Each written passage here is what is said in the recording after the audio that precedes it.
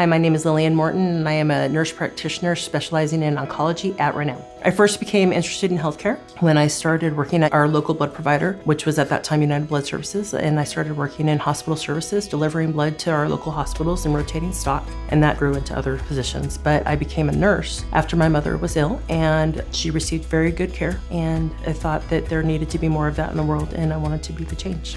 My patient care philosophy is how can I make this better or how can I make this easier?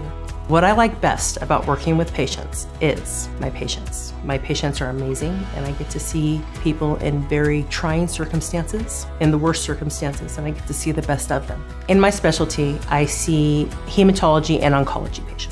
The advice that I give to my patients to live healthier is to be proactive, to stay hydrated, to eat a good diet, to take their meds in advance and on time, and to do what they can to avoid issues. My area of interest is oncology and hematology. In my spare time, I read and I travel. What I like about living in the area is that I am from here. This is home. I like that we have no humidity.